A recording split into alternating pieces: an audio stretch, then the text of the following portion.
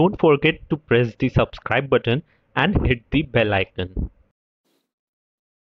Hello guys welcome to our channel आज की इस वीडियो में प्लांट न्यूट्रिएंट्स के एमसीक्यू क्वेश्चन दिए गए हैं तो चलिए शुरू करते हैं।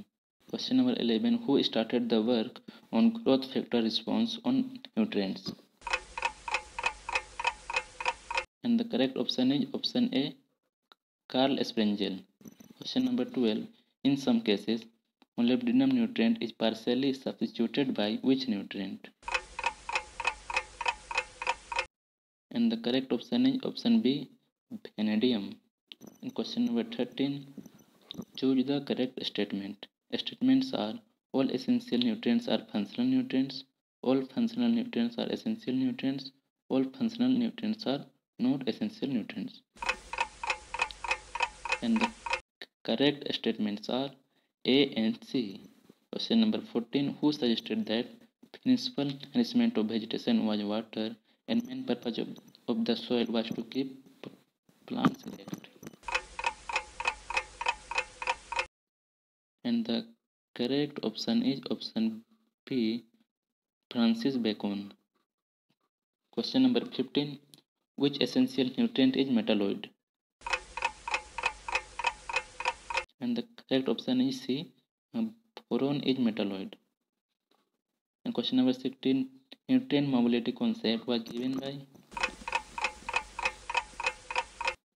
and the correct option is option A R H Bray and this question was फिर फिर बेसली इन एग्रोनॉमी जार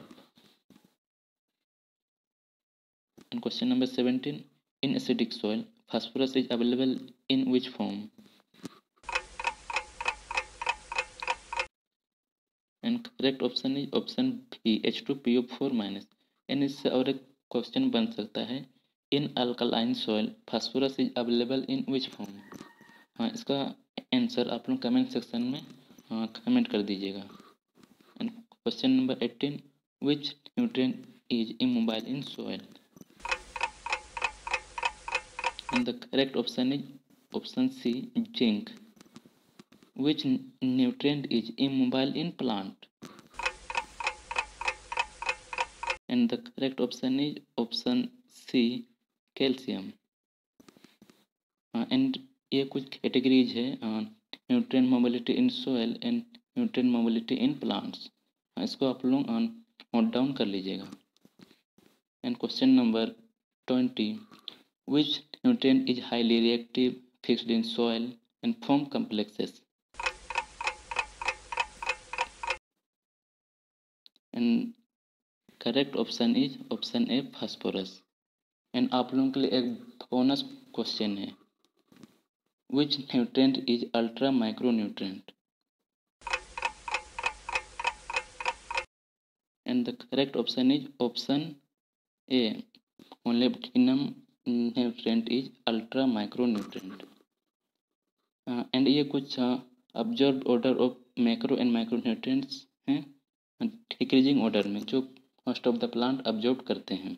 एंड इसमें से कुछ ऑप्स एक्सेप्शन है।